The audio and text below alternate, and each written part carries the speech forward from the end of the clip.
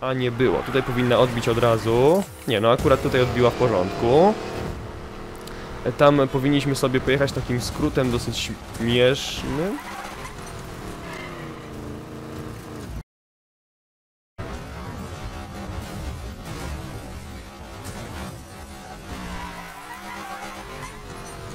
And his name is John C.